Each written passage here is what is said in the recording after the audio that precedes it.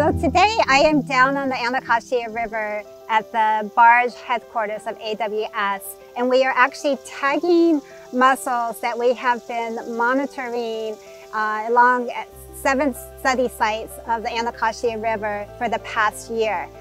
Um, after we tag them in another probably three weeks or so, we will start to release them into the Anacostia River. Hi, I'm Mary Didier and I am a DC resident. I've been here for 31 years and I love the Anacostia River and particularly I love doing mussel restoration work.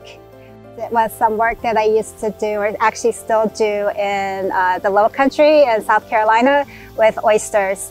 That led me to AWS. I was wondering how can I do similar work up here and so I uh, contacted the uh, Anacostia Watershed Society and joined their Master uh, Watershed Steward Academy program.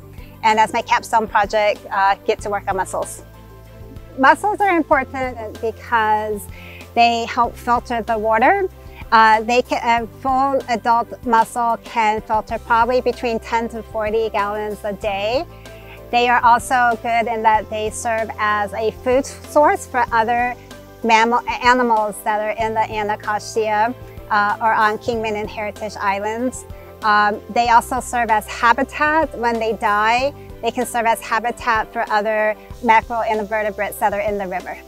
So I see a future where the Anacostia is a place where those who, from wherever, for our visitors, for those who live here, uh, can come and enjoy.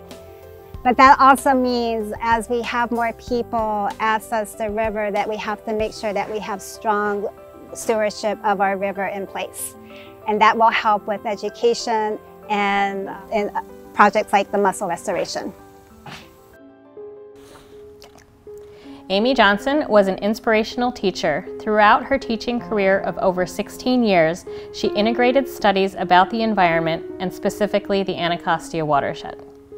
When she first began teaching at the Cornerstone Community School, she was one of the first teachers to participate in Anacostia Watershed Society's teacher training, Rice Rangers program, and River of Words. From there, she began teaching at DC Public Schools' Key Elementary, where she continued working with AWS through Rice Rangers and the SHAD program. My name's Grace Manubay, and I was a friend and colleague of Amy Johnson. Amy was always very excited to teach science and to find interesting and engaging ways to connect what she was teaching to what really related with um, the lives of her students. And so she really was great at bringing the environment to into the classroom and then bringing her students outside as well. Amy passed away in June 2019 after battling with cancer for over four years. In her obituary, the family wrote, Amy organized science fairs and educational camping trips and inspired numerous students to love science and pursue careers in STEM fields. She often regaled family and friends with new insights about clouds, horseshoe crabs, shad, and fish ladders.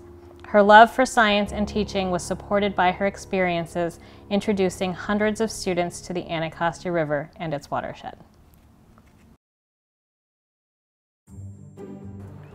My name is Roberto Sanchez. I'm a graduate of Bladensburg High School and I'm a current junior at Bowie State University. I first got involved with the Anacostia River through End Time Harvest Ministries Pathways to Career Success program. I entered in my ninth grade year and as a part of our Fit for Success programs, we took trips to the Anacostia River where we learned about the watershed, we learned about environmental stewardship, and through that program, that is how I got introduced to the Anacostia. And during my during my second year in the Pathways to Career Success program, I was employed at the Bladensburg Waterfront Park. I think the funnest thing I've ever done on the Anacostia River was when I was led by my supervisor at the Bladensburg Waterfront Park and gave tours of the Anacostia River to elementary school, school kids, seeing their eyes light up and as they see birds and eagles and turtles and ducks just walk around and roam around the waters. That was the best part. I think there is a way for millennials to learn to enjoy the river and just to have a deeper appreciation for nature. Just to grow in friendship over it and fellowship over it, to just go out and have a genuine experience, not making it so much a big issue. The way to get people out is just to have fun and just to enjoy it with somebody that you care about. Go out with a friend and go paddle on the river. Go out with a friend and ride bikes down the river. I think that's really the key to it. For more than 30 years, Bruce McNeil documented the nation's capital waterways. His fine art photography has been in the forefront of emphasizing the plight of the environment. His work has reached everyone, from his neighbors in Anacostia to the policymakers on Pennsylvania Avenue. He wanted his artistic advocacy to influence and promote positive environmental and social change. Bruce often included the mythological symbol of Mami Wata, the goddess of oceans and rivers, in his artwork. Bruce said, Mami Wata is my thought provoking lightning rod about a serious topic pollution. Since she is a matriarchal figurehead for women of African descent, I transpose my mother's face and others onto the Anacostia's protective waters to serve as a beacon of hope. Although our friend Bruce McNeil died in May 2019, his spirit lives on in his art and in the Anacostia River watershed communities.